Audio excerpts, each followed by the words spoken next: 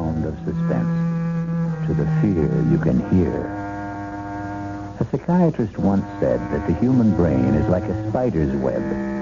Together, all the strands are strong, but taken one by one, each can easily be broken and the web destroyed.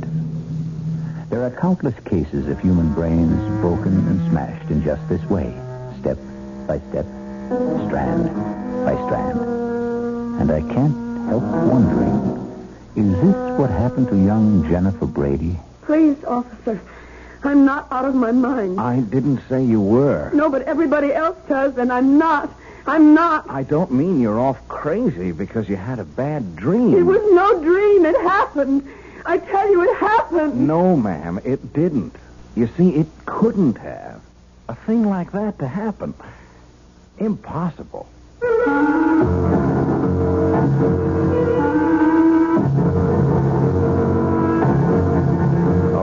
Mystery drama, Honeymoon with Death, was written especially for the Radio Mystery Theater by George Lowther and stars Lois Nettleton. It is sponsored in part by Anheuser-Busch Incorporated, Brewers of Budweiser, and by the Kellogg Company, makers of Kellogg's Special K cereal.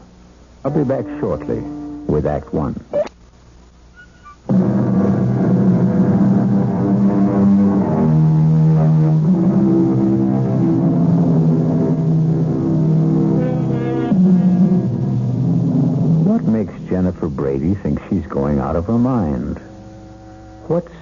Thing happened that couldn't have happened? Perhaps we can find out together. It was a wonderful honeymoon, Howard. I can't tell you how much I enjoyed it. Adored it. But you know something? Howard, you know something? What, Jennifer? What? It's wonderful to be back home. These last ten days driving back from San Francisco, I kept thinking, when, oh, when will I be back in my own bedroom, in my own bed, in my own little old New York brownstone house? Oh, I shouldn't have said that, should I? What? Said what, Jennifer? Am I bothering you with all my chatter, Howard? Bothering me? How could you possibly bother me, sweetheart? I'm just trying to catch up with all that mail Margaret left on the living room table. Oh, hey. I haven't seen that negligee before. I saved it for a homecoming night. Like? I can see a whole month of honeymooning hasn't changed you a bit. When I've got a bride as beautiful and sexy as you, our whole life is going to be a honeymoon. Now, tell me, what was it you shouldn't have said? What? Oh, I've forgotten. Or something about your own little old New York brownstone house. Oh, well, what I meant, it's not just mine anymore. It's yours now, too. Mm, And your sister Maggie's. You both inherited this old brownstone from your father. Though I must say I think that you, I mean we, have the better of the bargain. What do you mean? I much prefer this top floor apartment, don't you? Oh, yes. Luckily, Maggie always preferred the downstairs part. No climbing stairs. The stairs won't bother me. I'll take them two, three at a time, knowing that you're waiting at the top of them. Oh, darling. Well, you uh, better finish brushing your hair. I'll finish that nail in the living room. Howard, Yes? about the car. Well, what about it? You think it's safe parked out in the street? One night won't hurt. I'd feel awful if anything happened to us. you know, sometimes on a honeymoon trip, I couldn't help wondering which you loved more, your new car or me. oh, well, I guess one night in the street is safe enough. You can find a garage tomorrow. Howard, you locked the car. You have the keys, haven't you? Howard? Howard, can't you hear me? I asked you.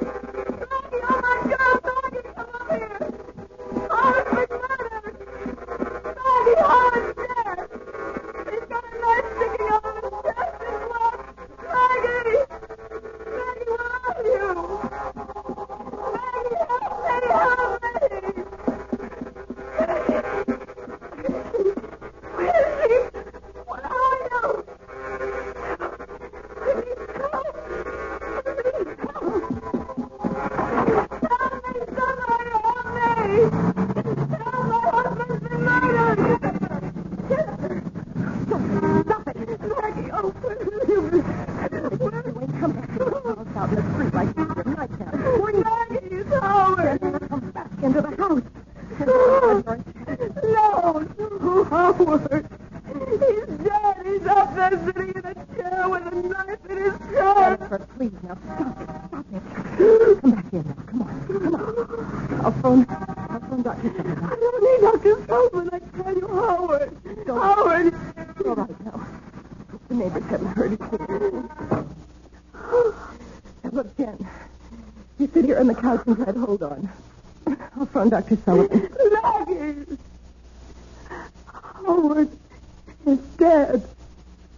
He's up there in our apartment. Dead. Jennifer, please, now try to control yourself. There's no one named Howard here. What, what do you mean? No one named Howard. You know Howard Lansing, my husband, the man I've been on a honeymoon with for a whole month and home just a few hours ago. And stop looking at me like that. All right. All right. Now, look, Jennifer, I'll tell you what I'm going to do. I'll go upstairs, and I'll see if anybody's there. Howard's there. All right, all right. If this Howard is there, and if he's dead, then I'll phone the police. All right? Yes. But if he isn't, then I'm going to phone Dr. Sullivan, have him come right over. Now, that agreed? What's that? It's just the front door bell. Oh, yes, officer? Uh, Officer Helmets, ma'am. Uh, Ed Helmets. Anything wrong? No, no. What do you mean, no? My husband's been murdered. He's upstairs dead, a knife in his chest. Jennifer, please. Officer, there is no one upstairs, dead or alive. Well, then what was all the screaming about? I'm I'm walking the beach just up at the corner, and I hear all this It's screaming. nothing. Believe me, it's nothing. Officer, officer, will you do me a favor? Oh, sure, if I can. Would you, would you go upstairs, please, and see for yourself? Officer, my sister is is uh, a highly emotional woman. Please? Would you please? Sure. Make you feel any better? Sure. Oh, Jen. Jen, what am I going to do with you? You know what Dr. Sullivan said. Dr. He Sullivan? said if you had another one of these attacks, you were going to have to be. I am not having an attack. I am as sane as you are. Don't look at me like that, Maggie. I am. Well, well, officer, Well, there's nobody up there, ma'am. nobody. But there is somebody. My husband, Howard.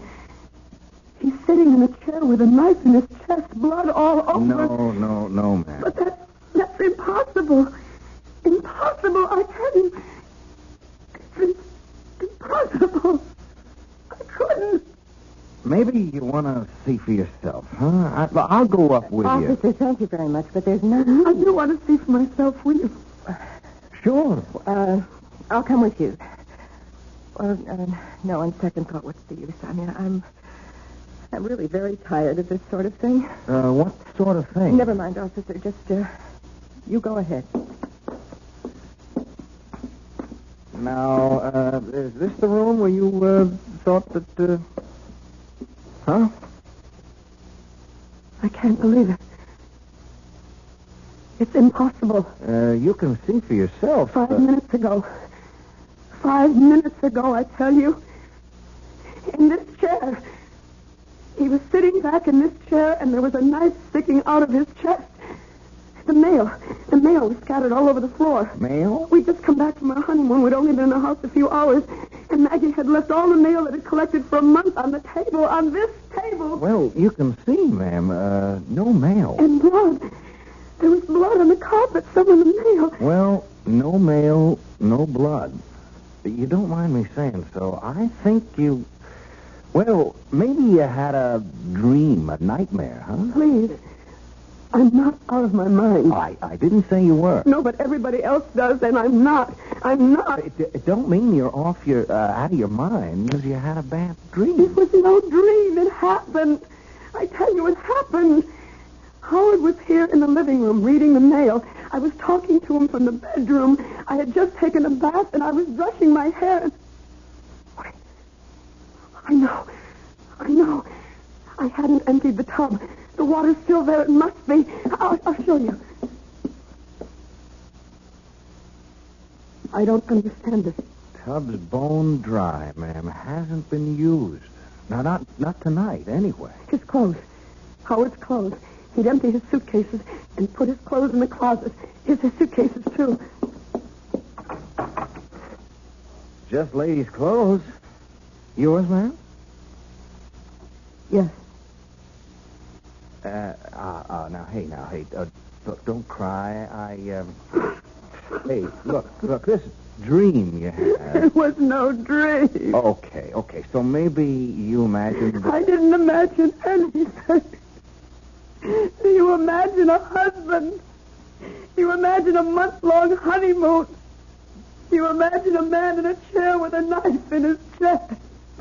Oh, I, I, I got to admit, you, you, you'd have to have a darn strong imagination. To, but uh, they tell me that's what artists got. Artist? Oh, you are an artist, aren't you? That painting there on the easel? Oh, that, that's just a hobby. I haven't touched that since I left for my honeymoon. No? What do you mean? Uh, how long does it take paint to dry? Oh, a, a day, thereabouts. Well, this paint's still wet. Plenty wet. Look at my finger. Oh, now don't don't start crying again. Uh, a, a woman crying it makes me feel awful. I'm sorry. Look, um, wh- whether you dreamed it or imagined it, I didn't. yeah. I didn't. Oh, yeah. Well, uh, um, I know, I know I've had spells. spells. Uh, what what kind of spells? Oh, I've always been high strung, nervous, you know.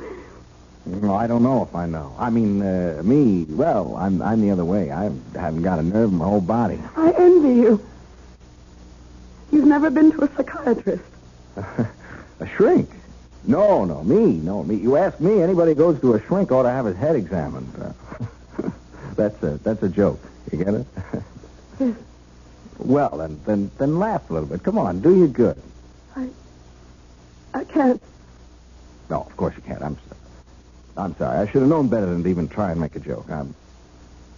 You you go to a psychiatrist, huh? Yes. Not regularly. Sometimes. What time?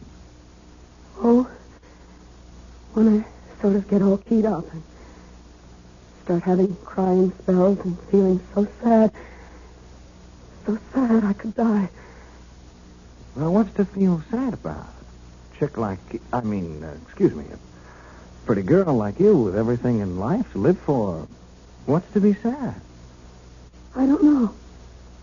Some people feel sad for no reason at all. They just suffer from depression. Oh, excuse me, Oh, uh, yes, ma'am? uh, Jennifer.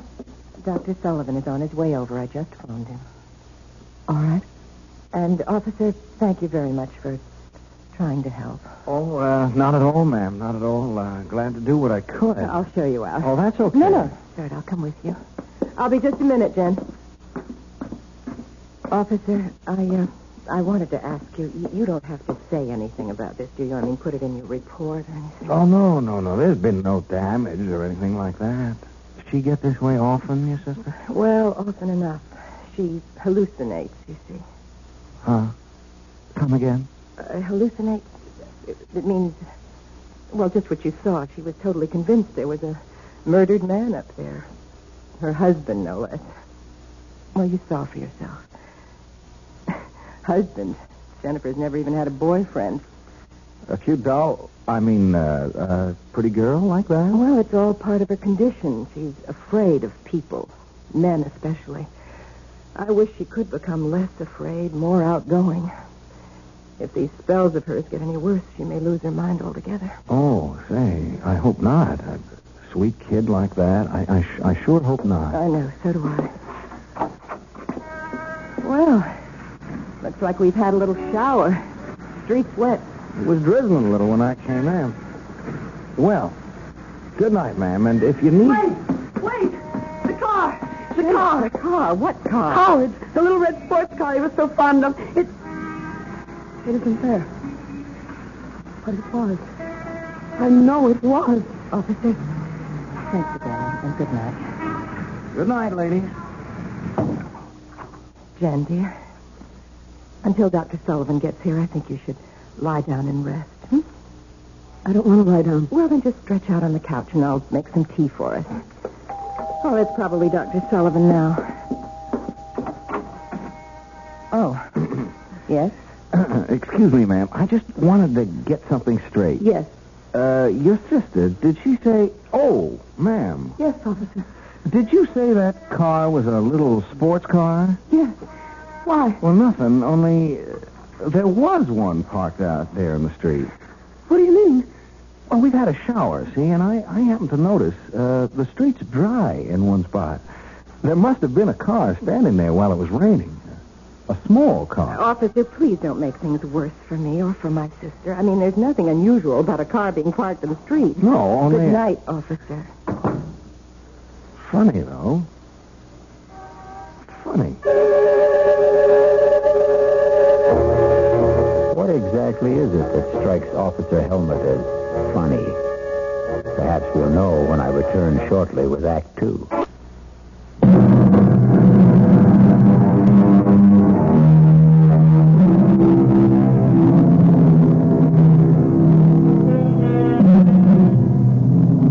Has a horrible murder been done? Or is Jennifer Brady losing her mind?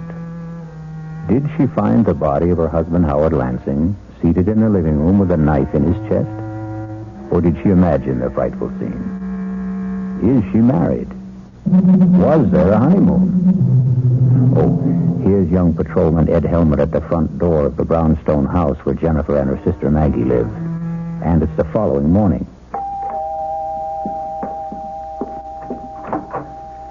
Oh, it's you. Yeah, Uh, well, won't you come in? thanks. Thank you for um, what you did last night. Oh, just doing my job, Miss, uh, uh, Mrs., uh, I, I don't know what to call you. I don't know what to call myself. I don't know if I'm Mrs. Howard Lansing or Miss Jennifer Brady. Not after last night. Well, um, suppose I just call you Jennifer. Um, you can call me Ed. Uh, Ed Helmut. What, what, what are you doing here? Well, uh, I'm off duty, see. I'm I'm on the four to midnight beat, and I just thought I'd drop around and uh, see how you were doing. Oh, well, I'm all right. You mind if I ask you a couple of questions, Jennifer? No. It's your job, isn't it? Well, uh, yes and no, yes and no. Uh, the fact being uh, off duty uh, now, I'm I'm kind of asking these questions on my own. Uh, you, you know what I mean? I, I don't. Not really. Well, um, I tell you, that car of your husband's. If I didn't just imagine a husband. Yeah, well, if you didn't, that car of his, that little red sports car you mentioned, well, there was a car parked out front last night, and it was a little sports car. If it wasn't there when you left, Well, the space it left. It, it, it rained, remember, while the car was standing at the curb? oh, yes. So at, at least you were right about there being a car. I mean, you didn't dream that up. It could have been anyone's car, as Maggie said. Oh, that's for sure. Still, though, it could have been a car belonging to a guy named Howard Lansing. Couldn't it? Couldn't it? Wh- wh- why are you doing this? Come again? Well, you know that I'm not well. That all my life I've had nervous problems. That, that. Oh, I can't believe it, but I must have dreamed it all up. Howard Lansing marrying him, going on a honeymoon across country and back, coming home last night, finding him murdered. I must have imagined it all. Maggie says I did. Dr. Sullivan says I did. So why are you. Why are you. You know something? I, I don't know. Maybe, maybe it's because, uh, well, uh, Well, what? I, um, I kind of like you, and, uh, well, uh, me, I didn't get much sleep either last night, uh, thinking about this whole thing, uh, thinking about you, and, uh, Well, I'm kind of wishing I could uh, straighten things out for you. That's very sweet of you, officer. Call me Ed. Ed, it's sweet of you. But you, you're wasting your time. I'm mentally, I'm mentally. Oh, come on now. Come on now. Don't cry. You had a bad dream, that's all. A, a nightmare. Oh, it was more than that, much more than that. When you dream something, you wake up and you know it was a dream. I'm still living it. I remember the ceremony, the hotels we stayed at, the things we did. Even Howard fussing, constantly fussing with his new car. Yeah, there's, there's that car again. Uh, What do you mean fussing with it? Oh, just, uh, just that he was always polishing it, checking this and that, you know, fussing. That's all. And you remember all about the ceremony and uh, the hotels and like that? It's all as vivid as if it had actually happened. Tell me, tell me about the wedding. Um, who married you? Nobody married me, Ed. I imagined. Okay, okay. So where did you imagine you got married? A little town in Jersey. By a justice of the peace. What little town? What JP? I don't know. It, was night, and we just pulled off the Garden State Parkway. Howard had said he knew a place, a justice of the peace. Okay, okay. What about hotels? Well, I remember we stayed at the Ambassador in Chicago and the Statler in St. Louis, the Beverly in Los Angeles, and... Oh, that you, Maggie? Yes, Jen. Connie called. Well, I... Oh, Uh, hello, Miss Brady. Aren't you the policeman who was here last night? Yeah, that's right. Uh, you're wondering what I'm doing here now, huh? Well, yes, I am. I just uh, dropped in to see how Jen was doing, that's all. Jen? Um, I mean, excuse me, uh, Miss Brady. I was never much for being formal. Yes, obviously. Have you been here long? No, uh, ten minutes or so. Well, I don't mean to hurry you, officer, but Jennifer and I have an appointment in one hour with her psychiatrist, Dr. Sullivan. Say, would that be Dr. Martin Sullivan on Park Avenue? No, Dr. Arnold Sullivan on East 82nd. Oh. You seem terribly interested in Jennifer's psychiatrist. Me? Oh, no, no. I, I just ask a lot of questions. I, I trained myself. You Trained yourself? you're going to laugh. I, I, I know you're going to laugh, but uh, would you believe I, I want to be a detective someday? Of course I believe it. Why shouldn't I? Ask my sergeant. He thinks I'm something else wanting to be a detective. Laughs himself silly. Well, I certainly wouldn't laugh. I think it's commendable. Do you think I could make a detective? Of course you could. Well, say, that's a real shot in the arm. I mean, someone like you thinking that uh, someone like me, uh, I mean, just a cop and uh, new on the force. As I said, officer, I don't like to hurry you, but I'm going, going, Miss Brady. Uh, going right now. Nice seeing you again, Jen. I'll show you out. Oh, that's okay. Some detective I'd make if I couldn't find the front door. Uh, why, uh... Uh, Jennifer, would you answer that, please? Of course. Oh, my God. Jennifer, what is it? Help me. Oh, my God, Maggie. Ed, help me. What? He's there. At the front door, he's there. Howard, Oh, I'm, I'm sorry. Is something. What's all the trouble? you're dead. Murdered. What? Last night after we got home from our honeymoon, I found you in your chair, stabbed to death. Last night, honey, stabbed. Maggie, what is this? Jen's having another one of her spells, Howard, that's all. Oh, I see. What do you mean you see? You see what? What, just. Excuse me, who are you? Uh, my name is uh, Ed Helmut, uh, Officer Ed Helmut. I'm a cop. A cop. Uh, Howard, I'll explain later what went on here last night. I don't understand this. I don't understand it. You're talking to Howard as if nothing had happened. Jennifer, nothing did. He exists. He's standing right here. He exists. And last night you acted as if you'd never heard of him, as if there was no such person as Howard Lansing. Darling, I don't remember. You remember. did. You did. You did. Jennifer, stop it. Now stop it. Control yourself. Officer, you were leaving. Uh, well, uh, there's some questions I'd better get the answers to Officer, first. this Uh, is a private matter. It's a family affair. Well, now that depends on how you look at it. Are you Howard Lansing? Of course I'm Howard Lansing. Why do you ask such a question? Howard, Jen had one of her her mental lapses last night. She imagined that you and she were married. We were. We and were. that you just come back from your honeymoon. Oh, good Lord. And then during this hallucination, she thought she had found you with a, a knife in your chest, dead. Oh, no, poor little Jenny. She ran oh. screaming into the street. Luckily, I got her back into the house before she caused a disturbance, although this officer did hear the screams and came to investigate. Well, Did you call Dr. Well, Sullivan? of course, of course I did. He came over, but there wasn't much he could do except order some new sleeping pills. We're seeing him in his office at 11 this morning. Uh, just one more question, Mr. Lansing. Yes? Just where do you fit in here? I mean, who are you? To the family, I mean. I'm Miss Brady's fiancée, uh, Margaret, not Jennifer. Oh. I see. Uh, no. No, I'm afraid you don't see. Not all of it. Look, since we've gone this far, you might as well know the rest of it. Jennifer has always had a, well, a thing for Howard. She's not jealous that he's going to marry me and not her. Don't think that. But the whole situation has been a, a severe strain on her, a, a very severe strain. Almost certainly that's why her hallucination last night took the form that it did, thinking she'd been married to me and all the rest of it. Yeah. That makes sense. Well, um, I'll be on my way. Uh, hey, hey, hey, hey, now, you, you take it easy, huh? And me, uh, if it's okay with you, I'm, I'm going to be in touch.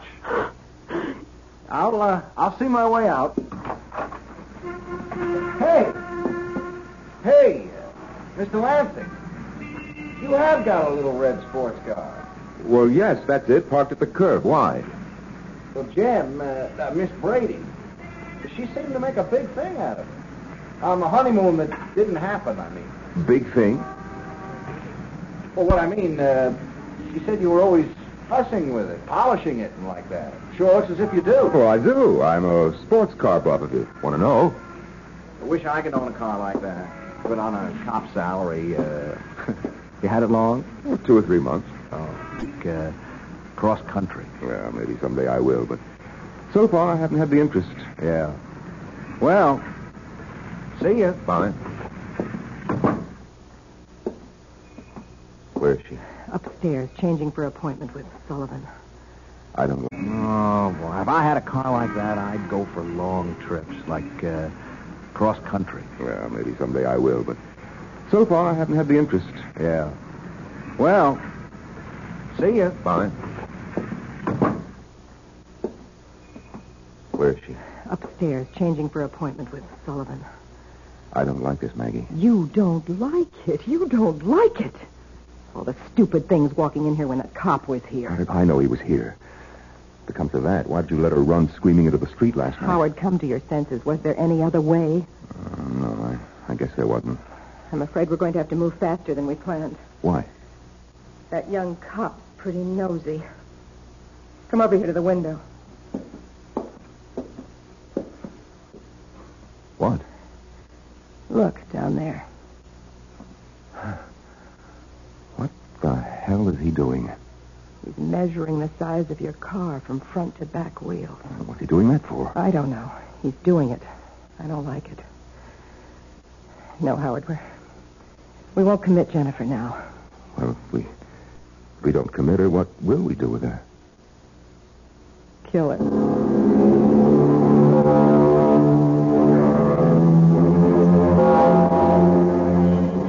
Clearly, Maggie and Howard faked his murder. But how could they have managed it? And how will they kill Jennifer? We'll return shortly with Act Three.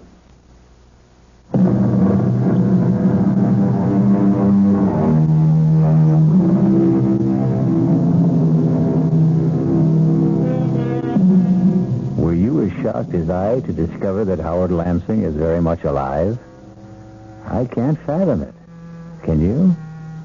No more than, well, ten minutes could have passed between the time Jennifer saw him slumped in that chair with a knife in his chest, blood all over everything, and the time Officer Helmut entered the room to find no body, no blood, nothing to indicate that a murder had taken place. It would have been impossible for Howard Lansing and Margaret Brady to restore perfect order to that room in so short a time. Even to Howard's clothes and luggage no longer in the closet. A bone-dry bathtub, And the rest of it got me puzzled. Well, we'll soon have the answer as we rejoin Maggie and Howard. Kill her. There's nothing else we can do. Oh, we can do what we planned originally. Commit her. It won't work. Not now. Why not? Your answer is right out there in the street. The cop was just finished measuring your car. Uh, now, what's he doing? Quite obviously getting into your car. I think I better get out there and see what he's up to. I was just about to suggest it, Howard. Officer, what are you doing in my car? Oh, say, uh, Mr. Lansing. Say, I hope you don't mind. Uh, uh, like I told you, I, I want to own a little sports car like this myself someday, and, uh, well, I just couldn't help uh, sitting behind the wheel. Say, I hope you don't mind. As a matter of fact, I do mind. Oh, well, say, uh, please excuse me. I just, I just kind of flip over a car like this. That's all. Is that why you were measuring the wheelbase? Measuring. Oh, that. Yes, that. I saw you from the window. Yeah. Well, now I tell you, I, I want to get to be a detective someday. See, and I'm I'm studying like uh, fingerprints and stains and like that, and uh, measuring. Now, measuring things is important, very important. Uh, you'd be surprised how important measuring things is. So, I take every opportunity to measure things. Ah, yes. Well, Like last night. Were you here last night? oh, no, I was not here last night. Funny. What's funny? Well, last night, uh, Jennifer, um, Miss Brady, she said a car, in fact, your car, was parked outside here. Only it wasn't. I mean, when we looked, no car. Well, I just told you that. Yeah, but there had been a car. You see, it had rained, and the car was standing out here during the rain and left a dry space in the street. and I, I measured that, too. Couldn't help myself. It's become a habit, you know? Well, I fail to see what this has to do with. Identical. Same wheelbase. That car and this one. Look, there are probably thousands of sports cars I'm- in New York. I'm not saying it was the same car. Oh, oh no, nothing like that. I'm only saying the wheelbase was the same. Very interesting, I'm sure. But if you don't mind now, I Just leaving when you came out. I apologize if I upset you getting in behind the wheel without permission. Oh, all right. Yeah. Well, goodbye. Oh, uh, by the way, Now what? you got 11,243 and nine tenths miles on the speedometer. Thousand or so more than you said you had. I just thought you'd like to know. Thank you. I'm deeply grateful for that information.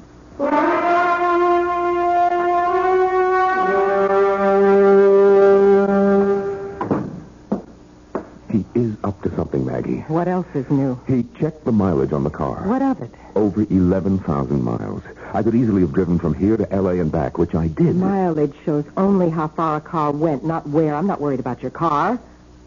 I'm worried about him nosing around. The quicker we kill Jennifer, the better. Now, look, I didn't bargain for anything like murder. Neither did I, but that's the way it is. How will you do it? How will we do it? Sleeping pills. An overdose. That's the simplest. When? Oh, tonight. Why wait? Oh, Jennifer. Oh, ready for our appointment with Dr. Sullivan, I see. Hmm? Yes. I'll just get my coat. Howard, Yes, Jennifer. I'm sorry if I. if I've caused you any trouble. Oh, now. I'm losing my mind, Howard.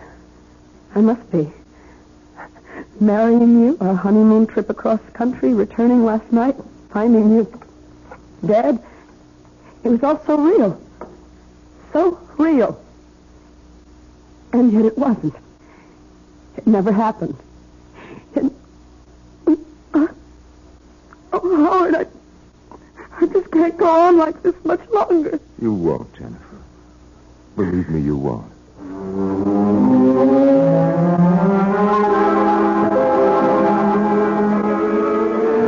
Sure of that? Did you check all marriage license applications for... And there's no Howard Lansing and Jennifer Brady, huh? for you at Beverly Hotel, Los Angeles. Uh, right there.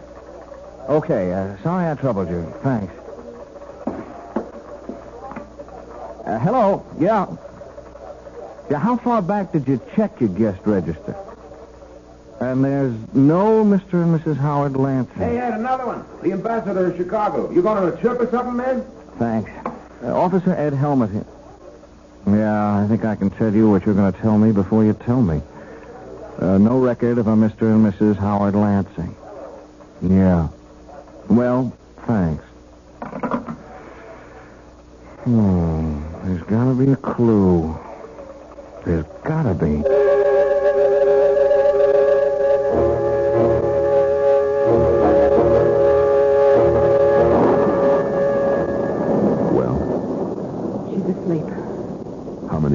Did you give her? Enough.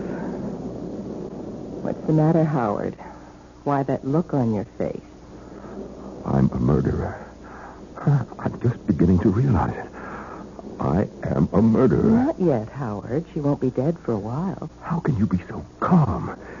You, you frighten me, Maggie. I've never seen this side of you before. You've got to be kidding. All the time we spent planning this. To commit her, not murder her. What's the difference?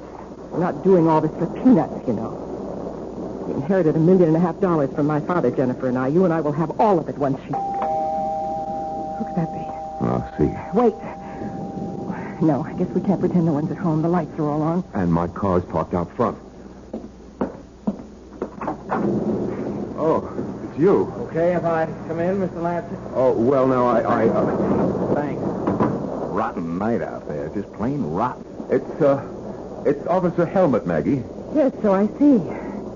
Getting to be a regular visitor, aren't you? To be honest with you, Miss Brady, it's a real nasty night, and uh, walking a beat, uh, I didn't think you'd mind if I came in for a few minutes. Uh, also, I wanted to see how Jen's getting along. Jen is getting along very well. If it's any concern of yours, which it is not. Oh, well, I only... Officer Helmet, circumstances beyond my control brought you into this house last night, but I do control whether you'll keep coming here like this. Please leave. Oh, well, now, uh, wait a minute, Miss Brady. I, I like your sister, and I have reason to think she likes me. Uh, now, now, now, wait, now, wait a second. Just wait a second. I also think she needs somebody like me, somebody to lean on, to protect her. Oh, oh And the further than that, I'm here on official business. Official business? I'm placing you both under arrest on a charge of... Where is Jen? That's no business of yours. What's all this about? Where is she? She is upstairs asleep, if you must know. Asleep at 8 o'clock at night? She took a couple of sleeping pills. Where are you going? How dare you go up there? Maggie, Maggie, You my have God. Any nerve, don't lose it now. But He'll know. He'll know she took an overdose. That's all he will know. He will know that we gave it to her. He's arresting us. For what? On what charge? Whatever it is, he'll never make it stick. We've covered our tracks too well for the law to... He's carrying her down. All right, baby. It's going to be all right. Operator, this is Officer Ed Helmet. I want an ambulance sent to 127 Brockhurst, and fast. An ambulance? Why an ambulance? An overdose of sleeping pills. She took a... She didn't take them, Buster. They were given to her, shoved down her throat, you ask me. I'm changing the charge against you two. I'm booking you for attempted murder. You must be out of your mind. You're as crazy as my sister. Who isn't crazy at all. That was a real far-out scene you two tried to pull. I gotta hand it to you two. You planned it so careful, so good. There wasn't a loophole in it. Except one. I don't know what you're talking about. You don't, huh? Then let me explain. You set the whole thing up, the two of you. The marriage, the honeymoon trip across country and back, the fake murder, and the whole bit. Oh, and you played it smart. Very smart. Not a clue. I checked the marriage license bureau. No license. Easy enough. You could have bribed the clerk to destroy it. Now, look, you... I checked a few hotels. The big ones like uh, the Ambassador, the Beverly in Los Angeles. No Mr. and Mrs. Howard Lansing listed. A piece of cake. When you registered, you gave a different name. You're making yourself look like a fool. What you're saying is you could find no evidence. Oh, but I did. One little clue that neither of you thought about. The car, Mr. Lansing. Your pretty little red sports car. I, I don't follow. You will. I told you I found that dry space out on the street last night because a car, a little sports car like yours, had been standing there during the rain. Well, it could have been anyone's car. Sure. Same size as yours, same wheelbase. But I agree, it could have been anyone's.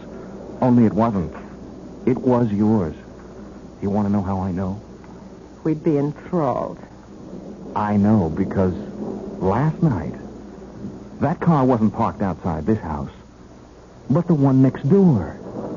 I got to wondering about that. I kept saying to myself, if it was his car, why did he park outside the house next door? I came up with the answer today when I entered that house. Nobody there.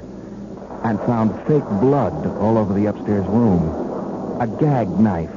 The kind you attach so it looks like you're stabbed. Even your clothes and your luggage in the closet. Mr. Lansing. Oh, God. So you see, if it hadn't been for your car, I'd never have realized that brownstone houses in a row like these are identical. You bought this place, or leased it while Jen and him were on their honeymoon, didn't you, Miss Brady? I, last night, when Jen went screaming into the street, you deliberately let her run into the street so you could bring her back to the house next door. This house. In her state, wound up tight like she was, she never realized what you were doing, as you knew she wouldn't. You'll have to prove these accusations. I will. I can. With the one little clue that nails it all down at all four corners. The little red sports car again. What about it? Well, you told me you'd never driven across country. I never have. If you're thinking of the mileage on the car, that proves nothing. Well, not the mileage, Mr. Lansing. The servicing. Servicing? You had it serviced at the Beverly Hotel in Los Angeles. A lube job, oil change, new filter, the works. And like they do at all service stations, they slapped a little sticker on the door jamb. That little sticker that carries the name and address of the service station. That little sticker that practically nobody ever notices. Anyhow, you didn't. And it says Beverly Hotel Service Station, Los Angeles, California. Date and all.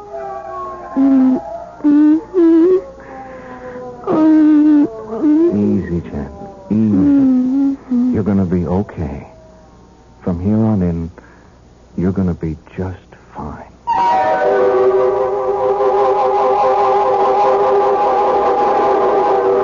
Must have been a costly business, buying or leasing that identical brownstone house and furnishing it exactly like the one next door. But then, Maggie had all the money in the world, or thought she did. I'll return shortly.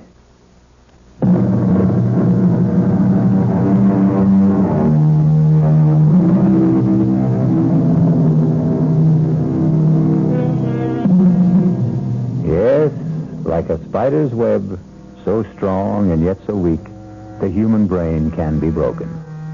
But happily, again, like the spider's web, it can be repaired, as good as new. Our cast included Lois Nettleton, Tony Roberts, Teri Keane, and Norman Rose. The entire production was under the direction of Himan Brown. Now, a preview of our next tale. Mr. Peterson, if I were you, I'd forget everything that happened tonight. Is that a threat? No, a warning. That's all I've been getting around here. Warnings. Well, for your own good, take them seriously. And if I don't? You'll regret it for the rest of your life, which may not be a long one. You still insist that you're not threatening me? I'm only trying to help you. Really? And why should you do that? Why? I don't know why. Maybe it's because the last guy tried to help me. What last guy? I didn't listen to him. The last guy? What do you mean? Uh, nothing. Forget it. You know, with you and your wife, it seems, everything turns out to be nothing and forget. I don't think it matters now. I have an idea it's already too late for you. This is E.G. Marshall inviting you to return to our Mystery Theater for another adventure in the macabre. Until next time, pleasant dreams.